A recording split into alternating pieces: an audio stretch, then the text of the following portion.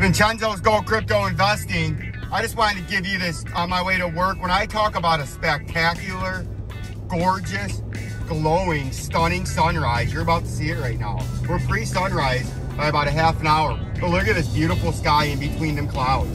Look at them orange, reddish, uh, yellowish, and blue glow uh, as the sun starts to approach from the far east and starts to rise high up into this high overcast that I was talking about. But look at that beautiful sky. It's just stunning. Too bad the tree line's right there, but you can see that. It's a beautiful, stunning sunrise this morning in the greater uh, Roseville metropolitan area.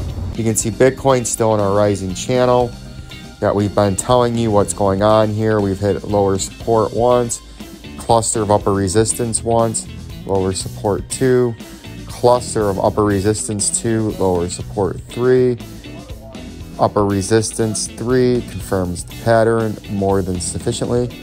And now we've come back down in a pretty steep fall to today. The price is there. 47,661 and 31 cents and we're trying to bounce off that. But if you do notice something, we're getting some increasingly bigger sell volume. Sell volume, sell volume has been increasingly. So if we can't bounce off of this, it's going to come all the way down 200 day moving average. If you can bounce, you can try to come back up there. The more likely solution is you're coming down to the 200 day. And then, as we do know in this quick update, we did extensive technical analysis on all of these coins earlier.